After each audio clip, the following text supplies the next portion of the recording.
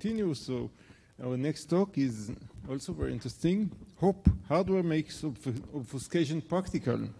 It's, and uh, Kartik Nayak will present this to us from uh, University of Maryland. Please. Thank you. Good evening, everyone. I'm Kartik Nayak, and today I'll be presenting HOP, Hardware Makes Obfuscation Practical. This is joint work with Chris, Ling, Nishant, Satya, Vipul, and Lane. So let's say Alice comes up with an amazing compression algorithm which can convert images of size 1 megabyte and, and convert it into images of size 1, 1 kilobyte. And now that she has this algorithm, she wants everyone to use it, perhaps make some money out of it. But the problem is, as soon as she gives this program to someone, they can read what the program does, copy it, and not pay her any money. So what she wants is for no one to learn what the algorithm is doing. Or in other words, she wants to obfuscate her program. Another scenario where this may appear is when you're trying to release patches without disclosing vulnerabilities. Presently, as soon as a patch is released, an attacker can look at the patch, know what the patch is doing, find out what the vulnerability is, and then attack systems which have not applied patches. So in order to solve this problem on obfuscation, there, has been, there have been multiple results. So there have been heuristic approaches to solving obfuscation. For example, if you look at this code, you do not know what this code is doing but I'm pretty sure if you stare at this for the next 10 days, you'll know exactly what this does.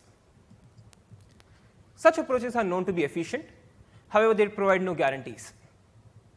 And at the other end of the spectrum, you have results which show that it is impossible to achieve obfuscation in general. And you're trying to find results in between these two sets of results.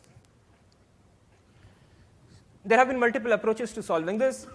For example, the cryptography community has come up with this definition of indistinguishability obfuscation, which is actually not strong enough in practice, and the constructions over here are based on non-standard assumptions. And they're, overall, they're inefficient for practical use. They've also defined the use of trusted hardware tokens. However, most constructions in this space deal with Boolean circuits, and overall, they're inefficient. They, they end up using schemes such as fully homomorphic encryption and non-interactive zero-knowledge proofs. On the other hand, the architecture community has come up with secure processors Intel SGX, Aegis, XOM are some examples. But uh, at a high level, what these do is uh, they provide you with confidentiality and integrity. However, they uh, reveal memory access patterns. But if you look at a software-only adversary, they do provide some degree of obfuscation. There have been works such as Ascend and GhostRider, which protect memory access patterns. However, they assume public programs and do not make an attempt to hide programs. So given this, here are our key contributions. What we are trying to do is we are trying to come up with an efficient scheme for obfuscation of RAM programs. And we try to do this using stateless trusted hardware tokens.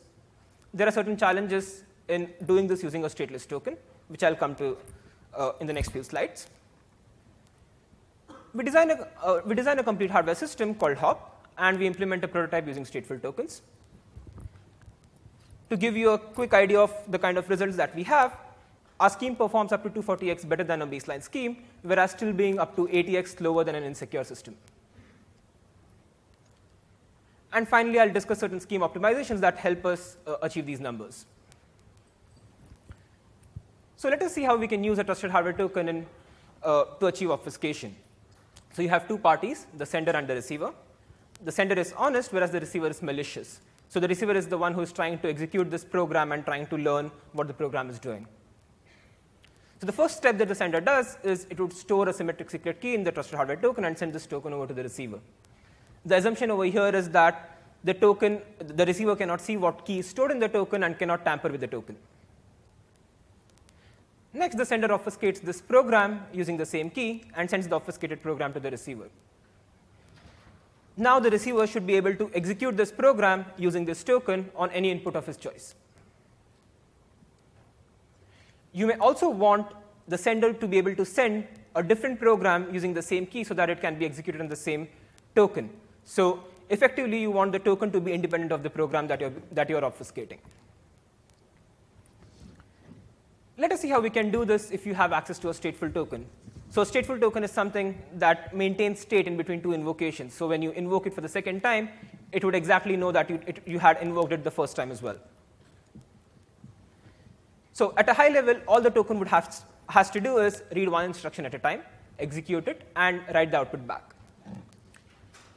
Since the adversary can know what instruction you're, or what memory location you're accessing, you may want to protect that. You may want to employ an oblivious RAM here and store the ORAM state inside the token. Just so that the adversary cannot uh, mix and match two different executions, you may also want to authenticate memory and store the corresponding authentication state in the token. And finally, you may want to run the program for a fixed time t for all inputs so that the adversary does not know how the program behaves for different inputs. And, ar and argue that so far as you do something like this, with a stateful token, you would have a secure obfuscation scheme. However, if you want to use a stateless token, it's much more challenging to achieve the same thing. The advantage you have over here is that it enables context switching. You, you can run a program for a, for, cert, for a certain amount of time, stop the execution, and switch to another program. And once you have a scheme that works with stateless tokens, you can think of using stateful tokens just as an optimization, wherein you don't swap state after every access, after every invocation. So let us see how we'll achieve this uh, using a stateless token. So again, a stateless token is something that does not maintain state in between two invocations. So at the end of an invocation, the token would give out the state to the adversary. And just so that the adversary cannot learn what this state is storing and does not tamper with it, you may, you may want to employ authenticated encryption here. And then you expect the adversary to send back the most recent state back to the token for the next step of the execution. The problem is that the adversary may not send back the most recent state. Or in other words, the adversary may try to rewind execution. So let's say at time 0, the, the adversary is executing this load operation, and at time 1, it is executing this add operation. And now the adversary tries to rewind and run the same instructions again. Ideally, the adversary should not learn any information, but that is exactly what he is trying to do. And turns out in this scenario, he would indeed learn something. And the problem is that oblivious RAMs are generally not secure against rewinding adversaries. So next, I'm going to show you an attack that can happen over uh, an ORAM scheme just because of rewinding. So I'm going to show how an adversary distinguishes between two access patterns, one access pattern being accessing the same memory location 3 twice, and another access pattern being accessing two different memory locations, say memory location 3 followed by 4. So in a tree-based ORAM scheme, every memory location is mapped to uh, an, uh, uh, map to an approximate address, which is the leaf of the tree. So over here, memory location 3 is mapped to address 4 or leaf 4. So during the at time t equals 0, you're trying to access memory location 3, which is mapped to path 4. So you'll access path 4, and that is visible to the adversary.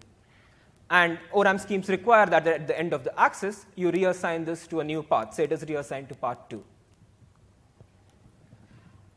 And now at time t equals 1, because you're accessing the same memory location again, you'll access part 2.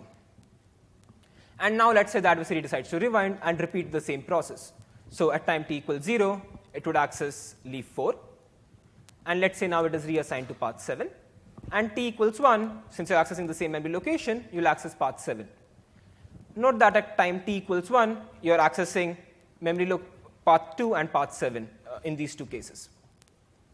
Now let us see what would happen if you are accessing the second access pattern. So at time t equals 0, you are accessing leaf 4 because 3 is mapped to path 4. But at time t equals 1, this is an independent path. So for memory location 4, you'll access path 1. And because these values are not changing in between these two time instances, even if you rewind, you'll end up accessing the same two paths again.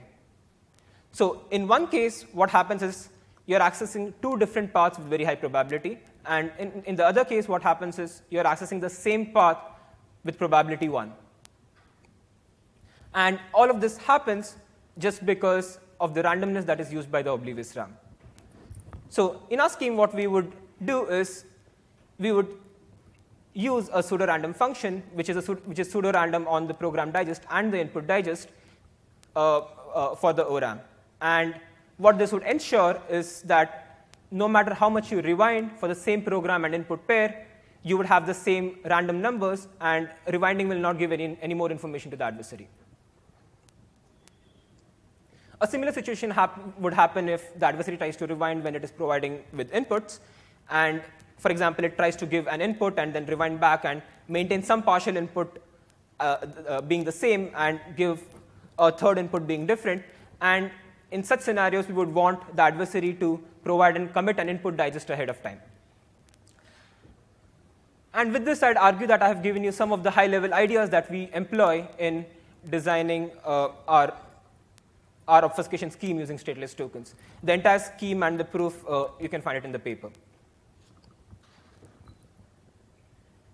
Now that I have explained the high-level ideas, let me move on to explaining some of the scheme optimizations that we do.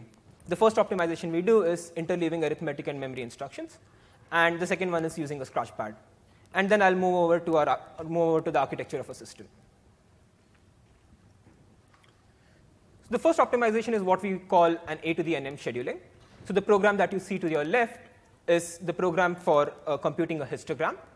So in the instructions that you see in green are arithmetic instructions, and the ones that you see in red are memory, memory accesses. So in our prototype, an arithmetic instruction takes around one cycle, and a, a memory instruction takes around 3,000 cycles because you employ an ORAM. The key thing to note is that memory accesses are visible to the adversary. So whether or not you make a memory access reveals information. And in order to hide this information, what you may want to do is for every arithmetic access, make a memory access and vice versa. So you would follow this naive schedule of AMAM.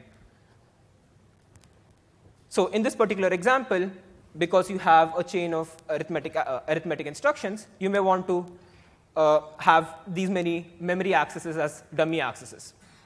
And this, in this scenario, it would incur around 12,000 extra cycles. So the first question is, can we reduce the amount of dummy work that happens?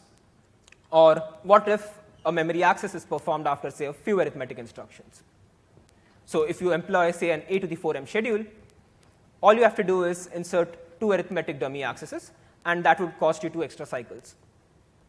Well, this does give you, give you some efficiency gains, but the number 4 reveals information, and what it reveals is how memory bound or compute bound your program is. So ideally, you want this 4 or n to be program independent. And what we end up doing in our scheme is setting n to be the ratio of memory access latency to arithmetic access latency, and we set it to 3000. So for this particular example, it would turn out that you're inserting these many arithmetic accesses as dummy accesses. So for something more than 6,000 cycles of actual work, you would end up doing something less than 6,000 cycles of dummy work. And in general, you can easily show that the amount of dummy work that we do is less than 50% of the total work. Or our scheme incurs a less than 2x overhead related to the best schedule with no, with no dummy work. The second optimization that we do is using a scratchpad. So there exist programs that inherently exhibit locality. So, so these programs will read a, a, chunk of data, perform a lot of computation on it, and then write it back to the memory and read the next chunk of data. And for such programs, it may be worthwhile to store that chunk of data in the chip so that the accesses that you make are not visible to the adversary and are not ORAM accesses. So in, in these scenarios, we uh, employ a scratchpad. You may ask, why not use a regular hardware cache? The reason is that cache hit or miss may reveal information as it's program independent. Finally, moving on to our architecture, we, we use a modified RISC-V processor, which uses a single-stage 32-bit integer-based registers. And we have modified it to include a scratchpad load instruction to load our scratchpad. We use an instruction scratch pad of 16 kilobytes and a data scratch pad of 512 kilobytes. And to protect memory access patterns, we use an ORAM controller, which is a variant of path ORAM called recursive ORAM with these parameters. And finally, for efficiency, we use stateful tokens. So here is the key result that we have. So on the y-axis, what you see is the slowdown to insecure execution. On the x-axis, you see different programs that we are uh, implementing. So programs to the right, for example, BWT RLE, which is a Burrows-Wheeler transform followed by run length encoding, these are programs that are inherently local, whereas programs to the left, such as binary search, uh, exhibit no locality. The three bars that you see, the first bar corresponds to the baseline execution of AMAM scheduling, the naive scheduling. The second bar that you see is with the first optimization, that is the A to the NM optimization. And the third bar is the final scheme, which employs A to the NM as well as crash scratchpad. And, and the key result that we have is the slowdown to insecure execution is in the range of 8x and 76x. So for programs that exhibit a lot of locality, you can do as well as 8x, such as BWT RLE. And for programs that exhibit no locality, it's around 76x. So what this does tell us is that for certain programs, such architectures can indeed be useful in uh, obfuscating them. So to conclude, we are the first to design and prototype a secure processor that has a matching cryptographically sound formal abstraction. Thank you, and I'd be happy to take questions.